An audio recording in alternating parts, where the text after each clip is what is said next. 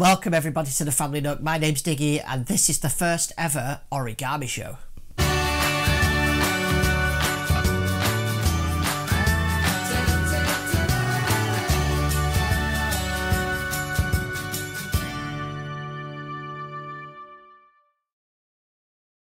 You might be thinking, why an origami show? Uh, the answer is quite simple. Years and years ago, I used to like doing origami.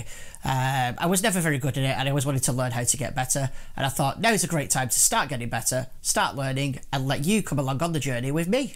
To start with, we're going to concentrate on animals in origami. So we're going to make every animal I think there possibly is. We're going to try our very hardest to get through as many as we can. Uh, and you can follow along with me each video and hopefully you'll be able to send me some of your submissions in and we'll be able to learn together. In each video, we're going to try a different origami animal. Uh, and the idea is to get better as we go along. So let's hope that happens. We're going to start with the crane quite possibly one of the most famous origami animals. Let's see how we get on. Our first fold is to take this side, well this corner, and to fold it across to the other corner. So, line our edges up, and then push outwards to each side to fold. And what I do remember is it's important to make sure that those folds are nice and sharp. So use the back of your nail to fold them across, like so. If you folded it sharp enough, the piece will stay closed, just like that. Then we do the same with the other corner. So corner to corner again.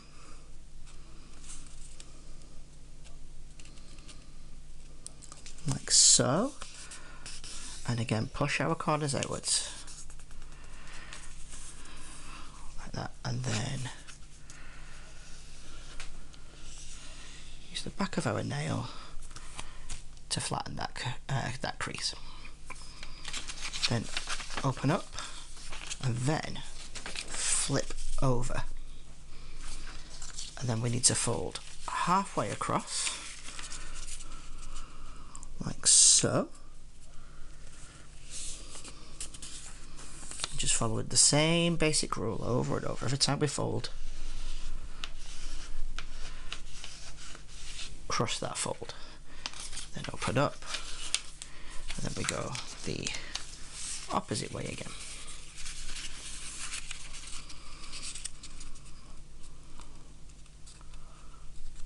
Like so. Make sure we get our edges all lined up before we make that fold.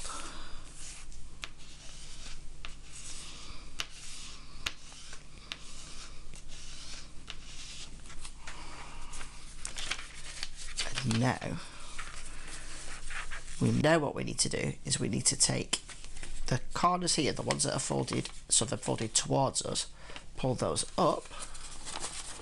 Actually, that wasn't quite right there. Pull those up, and they will all fold down onto themselves like so. And again, I'd like to just give it another quick press. Like so. Now, make sure you've got the open end, not the closed end, facing towards you. And you now need to fold the corners towards the middle.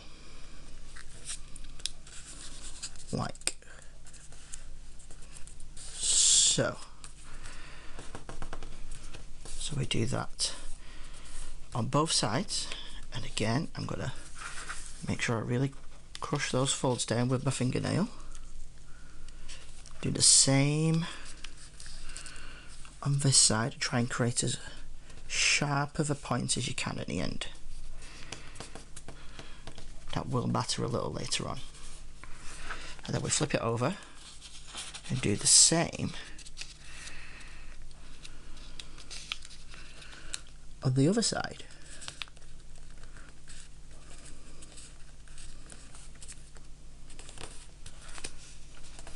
Like so, crush that corner. And then the same to the opposite edge again.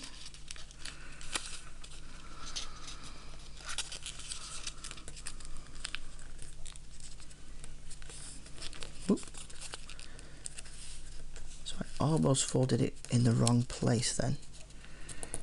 This isn't as perfect as I would like it to be, but that's why we practice. There you go. And then uh, we need to just this top edge, just make a fold just that way. Does it have to be as sharp, this one? Uh, this way. Now that fold will help us out later on. It'll just help help it along a little bit. Like so. So now we should have essentially a kite. Uh, what we do now is we unfold all of our folds from the edges and then we need to find the open end which is this end here. And we need to then fold it open. And as we're folding it open fold these folds back in on themselves which they should do fairly easily starting at the bottom and then just give them a helping hand as you go along and they will eventually fold all the way back out.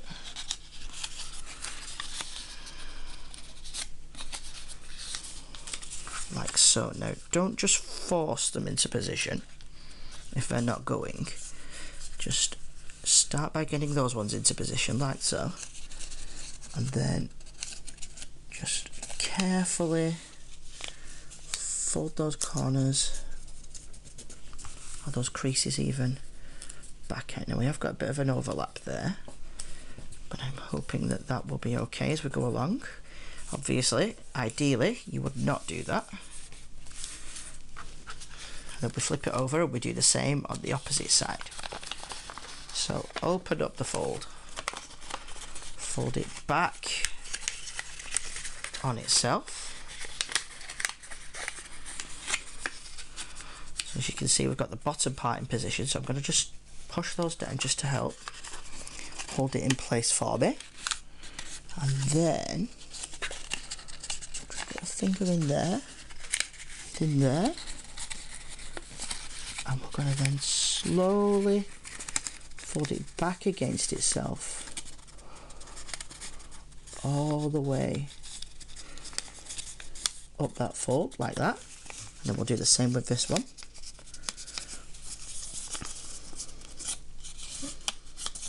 All the way back against itself up that fold like so and then fold it back. And flatten out those sides. And then we should have two open pieces and a piece where it's stuck together like so now what we need to do is we take these pieces here and we fold them in just like we did before and we do that on both sides and then we flip it over and do it on the other side again as well. So like so.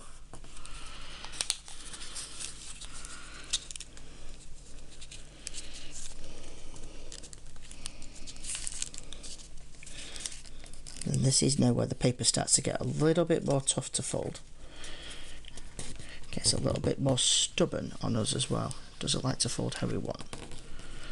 So just taking our time, flattening out those creases as we go along.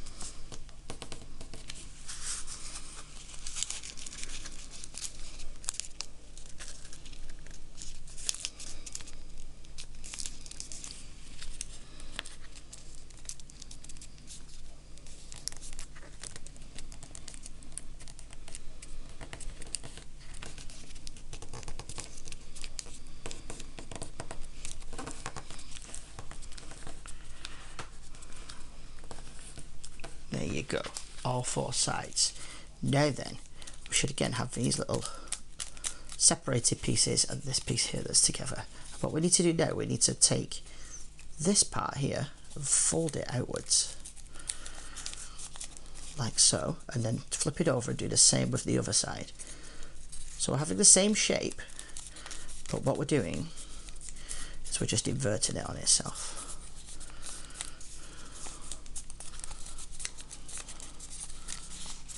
Like that. And again, as always, whoop, just push them folds into position. Like so. Now I can see that we've got quite a bad fold on this piece underneath here, so I'm just going to try and push that into place, yeah. And then once we've done that, we fold this piece over as far as it will go, all the way to the top, so that it's in the middle. So fold it like that, and then this piece all the way over.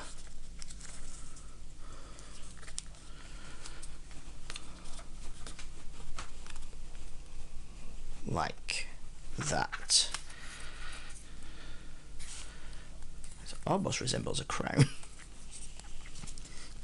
Excuse me. So now we're going to do the same thing as we did before, and that is to separate these two pieces and separate these two pieces.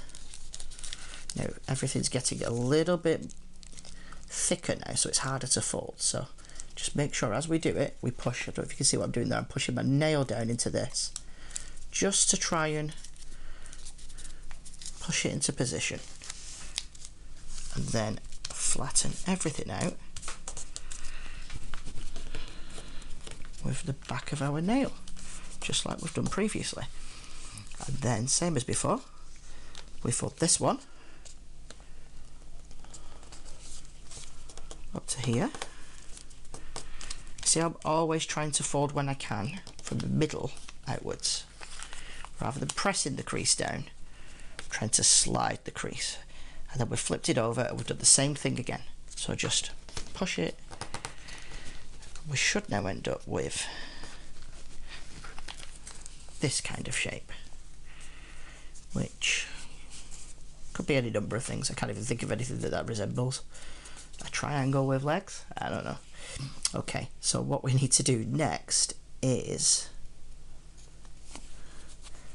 pull these bits down like that because these are actually our wings. We're, we're closer than, than you think at this point.